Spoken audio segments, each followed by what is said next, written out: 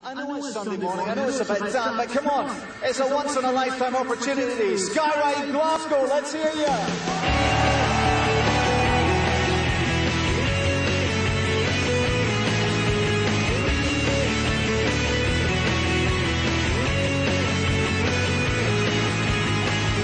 I had to force my dad kicking and screaming this morning, but he's here.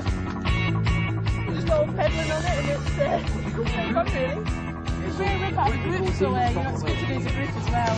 Five, four, three, two, one. Sky Ride Glasgow is over.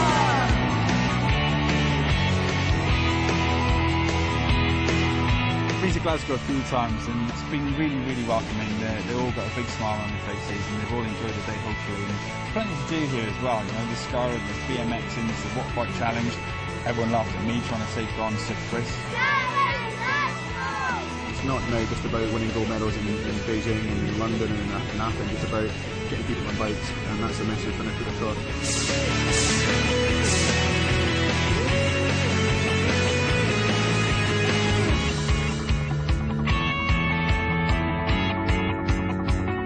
It's exciting. My, my, my boy is into sport, so uh, he's been watching the Olympics and he saw Ross.